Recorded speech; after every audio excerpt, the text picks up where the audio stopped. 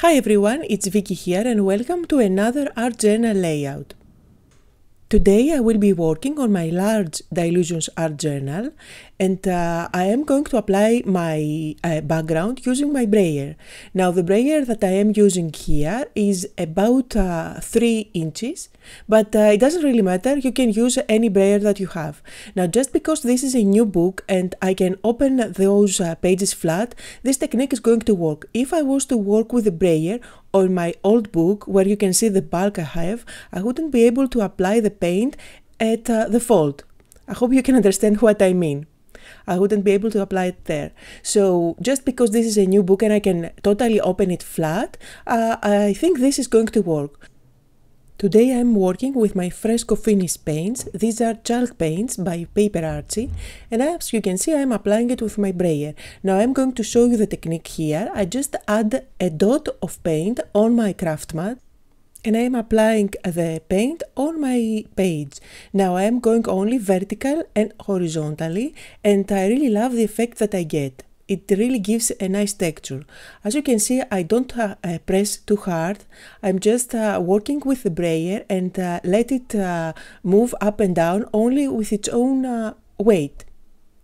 So now I'm building up the layers you can see the colors on screen that I have used for my background.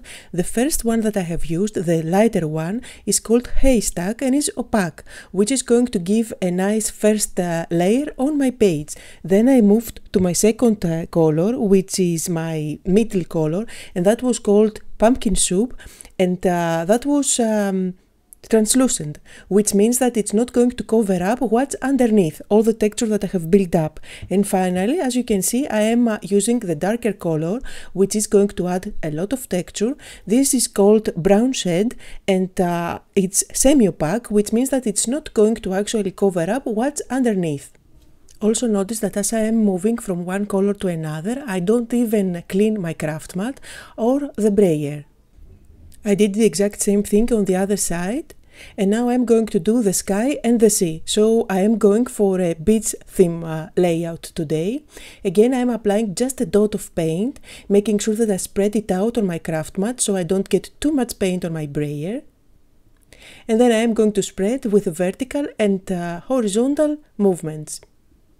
So I get all those nice strokes now with this technique, especially since we are working on the sky, don't go crazy if you see white spots.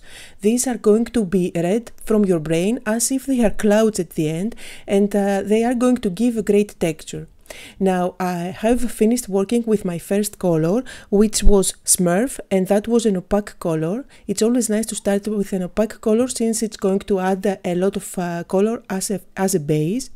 And now I have moved on to my second color, which is again an opaque and it's called China. This is slightly darker than the first one, which is going to build up the colors and it's going to give even more texture. And uh, you will see that now I am going to do a technique for creating the sea. Now this is a darker color, it's called glass blue and it's translucent, which means that it's not going to cover up the texture from beneath. I am only applying this dark blue color at one side of the brayer so it should be about one and a half inch. Of course I'm not measuring anything and at the same time I am trying to keep my lines pretty much straight since I want to create the illusion of having the horizon back there. So I am going to do the same technique on both pages and once I have a nice thick layer of this uh, darker color, I'm going to switch and do the exact same thing on the other side. So I have the straight line at the top now. Of course nothing has to be perfect since we are going from a loose abstract kind of uh, background.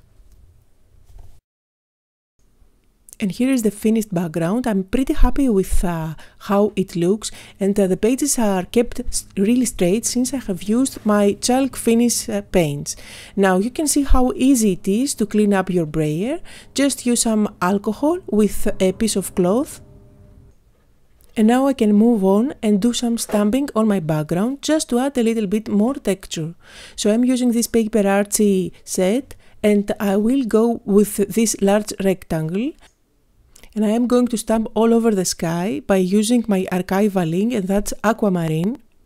It's slightly darker so it does leave an impression but not uh, so vibrant, which is exactly what I am going for.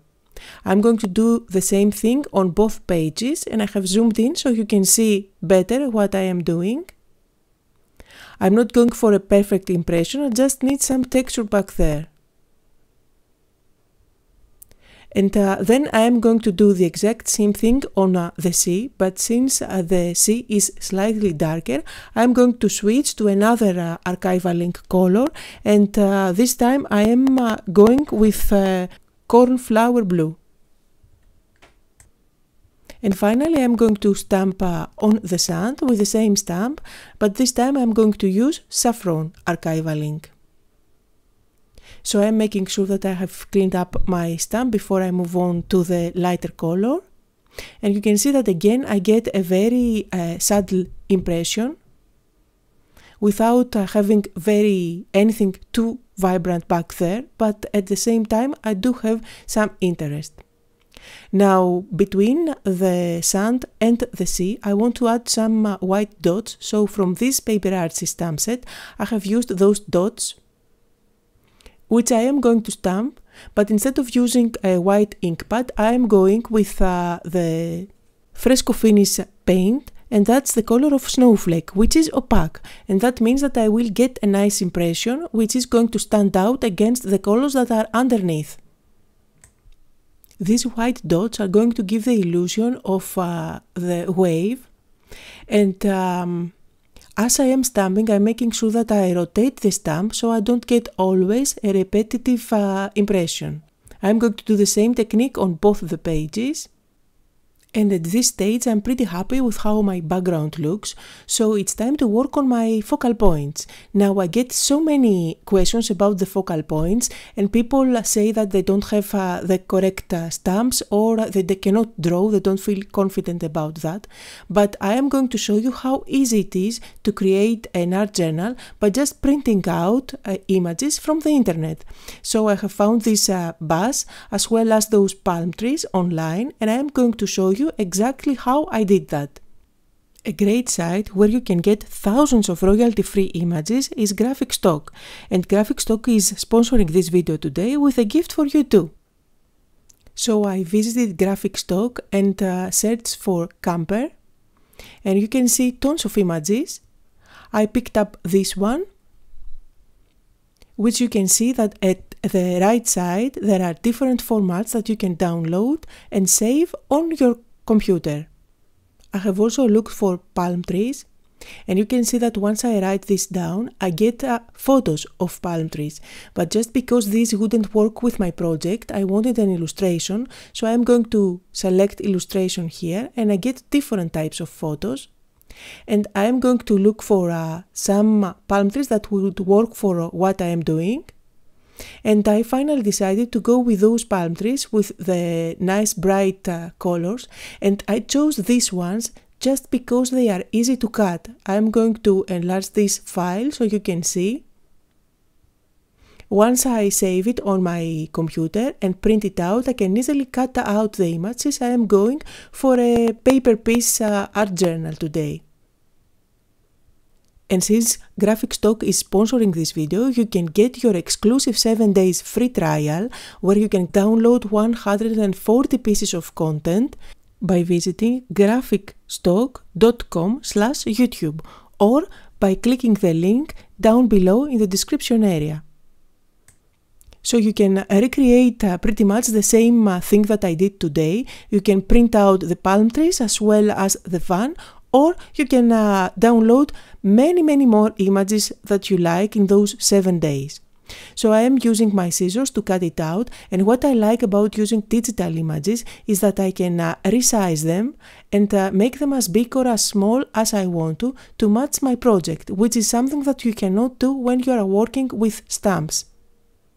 So after cutting them out, I am deciding where everything is going to go.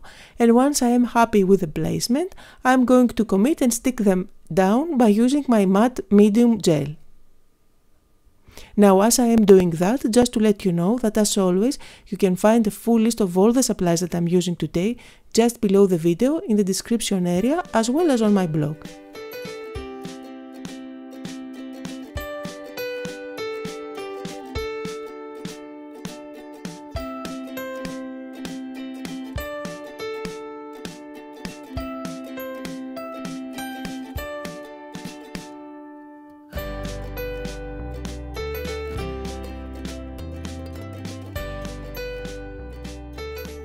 Now since I need to stick that bus along the fold, I made a notch where this is going to fall and I am going to cut it out. So I have two pieces of my bus now which I am going to stick down separately. And uh, this is going to help my book open and close while it's going to help me stick everything down nicely. I also have a tiny little piece from uh, that wheel there which I'm going to make sure that I stick it down also and now I can uh, go ahead and use my matte medium to stick everything down. As I am sticking them, I am also I also made sure that I covered the elements with my matte medium and this helps the technique that I am doing now, which is uh, doing the shading by using my big brush markers. Now big brush markers can uh, do this only when you are working over a non-porous surface. This is a technique that I really love and I go back to again and again just because I feel that it helps all my elements, all the papers that I have stuck down, they, are, they look so flat at the moment, to come to life and pop against the background. So first I am uh, doing the shading with a darker color than the base color, the color of the paper, so in this case of the palm tree. And uh, the more shading you add, the more dramatic look and the more, the more they will pop. I am going to do the same thing on all the palm trees and then for a more dramatic look I am going to add some brown and help uh, my elements pop even more. I am going to repeat the same process on the rest of the palm trees and then I am going to do the tree trunk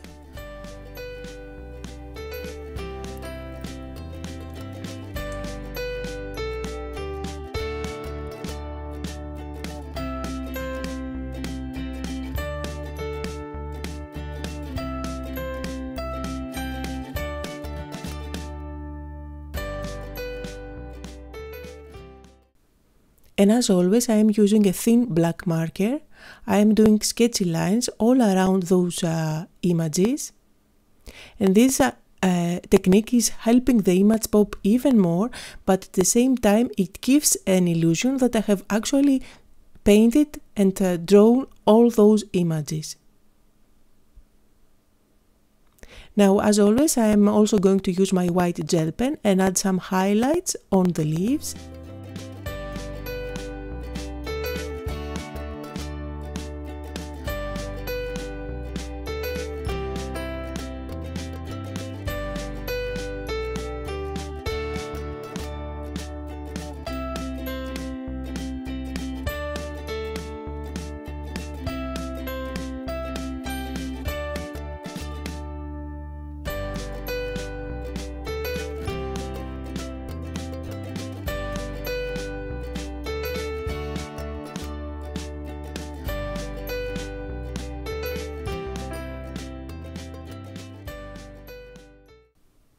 And here is how it looks after uh, doing the shading all over the bus and as well as the palm trees.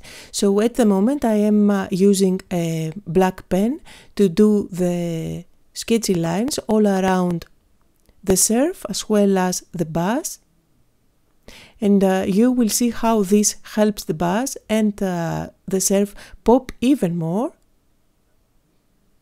and then of course I am going to use my white gel pen and add some highlights.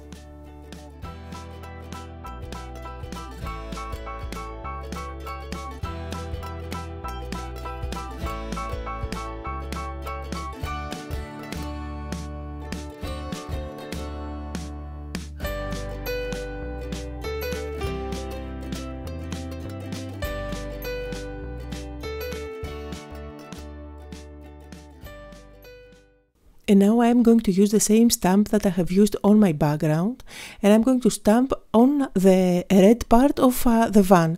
This is going to make uh, everything come together since I am repeating the same pattern on the background as well as on the foreground.